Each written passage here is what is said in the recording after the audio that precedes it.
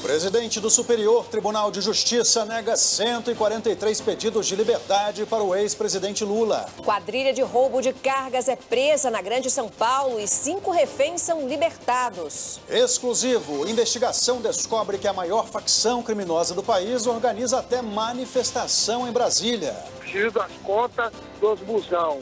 Quantos busão vai encher? Três? Já com alimentação. As imagens do primeiro encontro dos meninos com os pais desde que entraram na caverna na Tailândia. Da ficção para a realidade. Jogador belga da entrevista ao vivo na forma de holograma. A Croácia vence a Inglaterra de virada e vai decidir a Copa do Mundo com a França.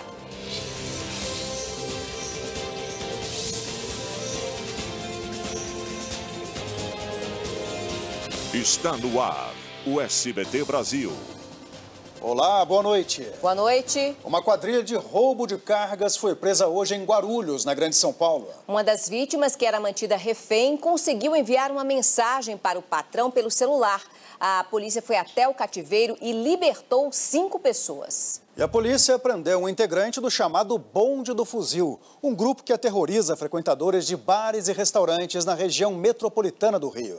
As imagens de câmeras de segurança apreendidas pelos investigadores são impressionantes. O corpo do brasileiro encontrado no mar em Sydney, na Austrália, chegou hoje a São Paulo.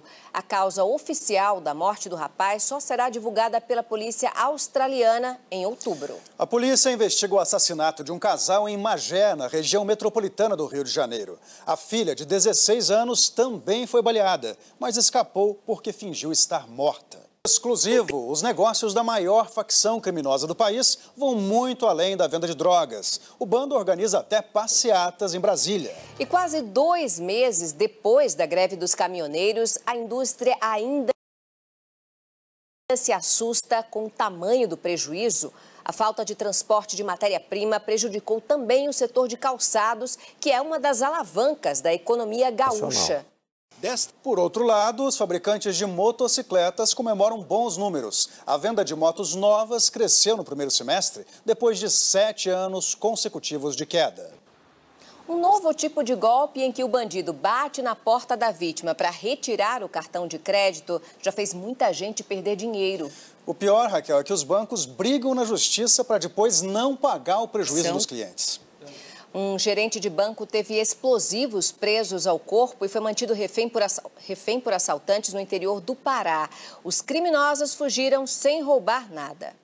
Os o Congresso vota daqui a pouco as regras para o orçamento do ano que vem. É a chamada Lei de Diretrizes Orçamentárias. Vamos até Brasília ao vivo com o repórter Tiago Noasco. Oi, Tiago, boa noite. Já existe um horário previsto para essa votação?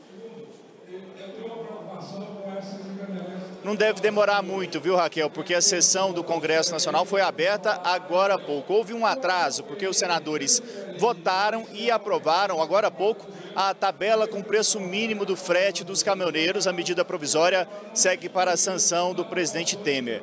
A expectativa é que a votação da Lei de Diretrizes Orçamentárias comece daqui a pouco. O texto que passou pela comissão mista do orçamento sofreu algumas mudanças após acordo entre os partidos. Uma das principais é o corte na redução das despesas dos ministérios de 10% para 5%. Já o salário mínimo foi mantido no texto em 988 reais a partir do ano que vem. Marcelo.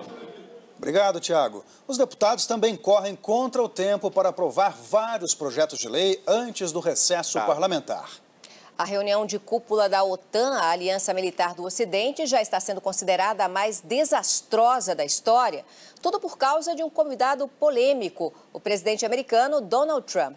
Ele já afirmou, por exemplo, que a Alemanha é controlada pela Rússia e chamou os aliados europeus de delinquentes. Yula Rocha. A ativista paquistanesa Malala Yousafzai, a mais jovem vencedora do Prêmio Nobel da Paz, chegou ao Rio de Janeiro. Malala assistiu à semifinal da